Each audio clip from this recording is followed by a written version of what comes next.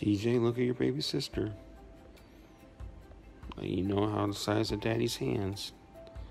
Look at daddy's thumb compared to her hand, okay? She's really small.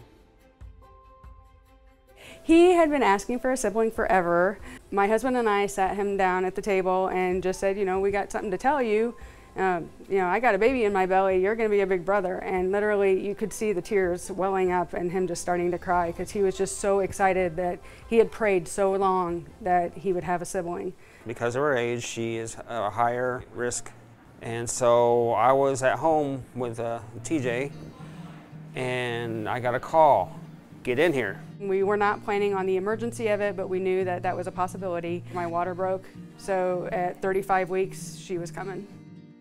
So I made it here in about 20 minutes. I missed the birth by about 20 seconds. I had such a peace about being in that operating room. I really felt God's protection and I felt that I couldn't be in more capable hands.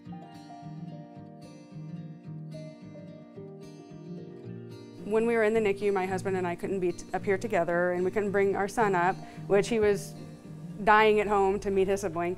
So they FaceTime back and forth and gotten to introduce and see each other that way. With all this COVID situation that is happening right now, um, I try to put myself as a mom, because I'm a mom myself, and um, to understand that they're in a very difficult situation. And if I was in that situation, I would be a little bit stressed out of everything. So I try to make the connection and letting them know that I understand where they like where they are right now. Right after we gave birth, the I think it was the day after um, Christina came in and said, you know, hey, I can understand that, you know, you got a son and he can't come up and meet her and stuff, and we want to make everything a, uh, him a part of the experience. So put together a bag and send it home with a onesie, a white onesie with some markers for him to decorate.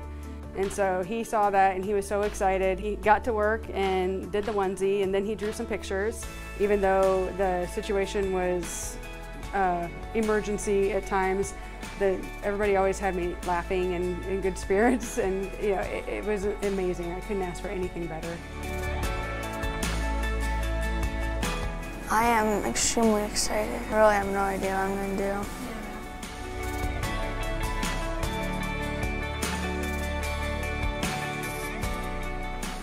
To finally bring her home is going to be awesome. I admit I am not completely ready. I am still working on getting the bedroom set up but having her home is going to be totally life changing.